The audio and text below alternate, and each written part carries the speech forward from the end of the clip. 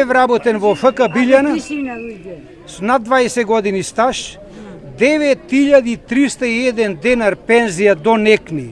Тоа е голема сума, али вака ќе речем. Се жалат оние ткивото цело што е во парламентот дека нема пари за пензионериве. Ќе направат како во Австралија, Шведска, Данска, Финска, сите пензионери да поделат пензијата по 30.000 на сите, пример. До вчера бил директор, бил не знам што, биле различни, диферен што викаат англичаните. Сега сме пензионери. Сите иста пензија треба да земе. Еден джандар работел 20 година, 20 се запостил, зема 40.000. Јас 20 и кустру години, 10.000 и полни не земам. Да се подели, то има пари државата. Кога има за оние функционери, за преку ноќ 85 по 2000 евра, 2000 евра нема плата во Австралија и пензија. Австралија иста пензијата и овде ќе им, ќе им молам да се изедначи. Мажот ми работеше партизанка. Мажот ми придонесе немаше платено од 12 години.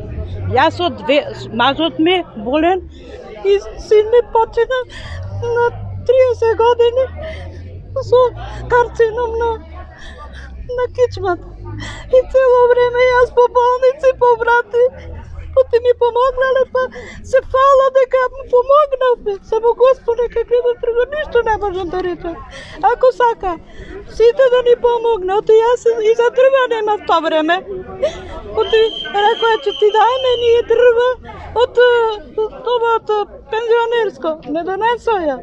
Дали земате пензија? Земав, еве го. Колку земаш? 11.000 и 550. Е сега, што да правиме, кажете?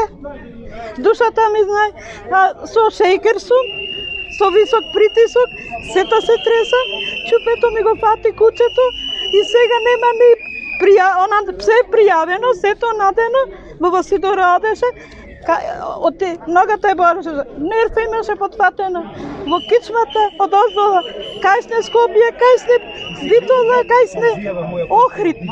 Јас се знам, душата ми знае.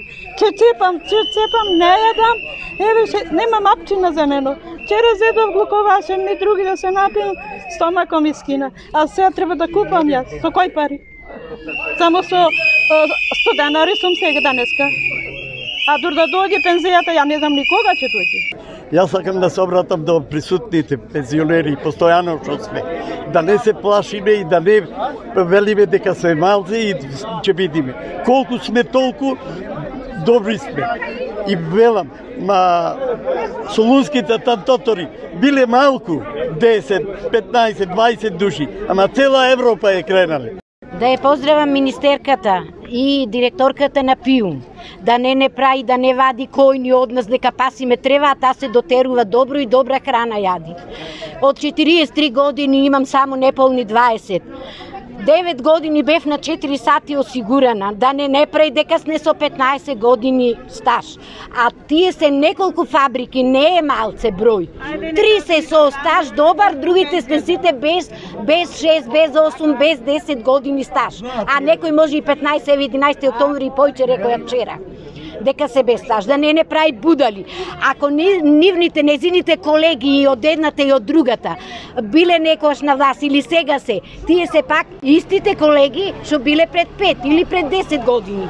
Да не не прави будали, сите имаме по 40, 37, 36 години работени мои колешки. Од Политекс немаме платено ние 6 години. Од Ритекс нема платено и плати 17 нема се земено. Ги молам горе сите што не вода, како родители треба, треба да ни бида. Да не не кава во образ овие сите пензионери што земаме ниски пензии. Ова е срамота.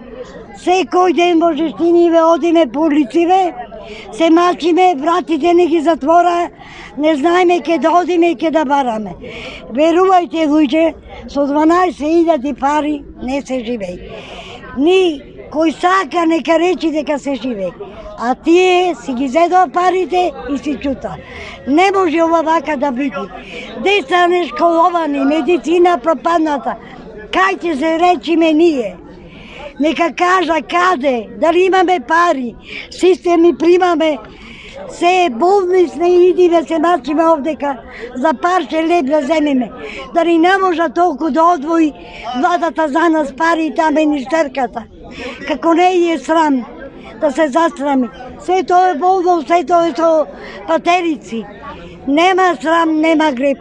Ги замолувам да ни да тоа што си го бараме нашето. Нивно не бараме, жиро сметки не бараме, си бараме нашите права.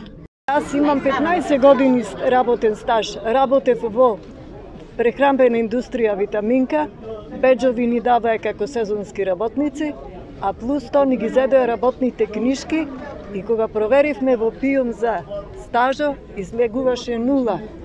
После се вработивме Тука се 15 години. После се вработивме во друга фабрика, таму не осигураа на 4 часа. Е сега кога ги направиме сметките 15 години и 5, то се 20 и 15, 35 години работен стаж.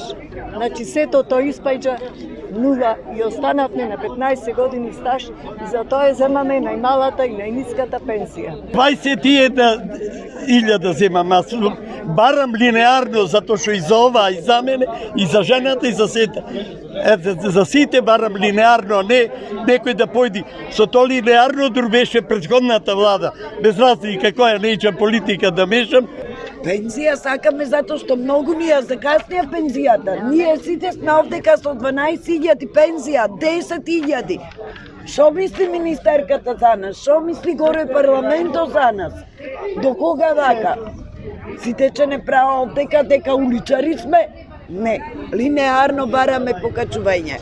Значи за сите исто. Имате представник во парламентот, пратеник е. Дали сте контактирали со него? Нема ништо до сега. Од никој ништо. Од никој ништо немаме. Неколку пати сме поканиле Джабе. Не можеме. Има има обезбедување полиција не не не ни дозволува добрата да застаниме.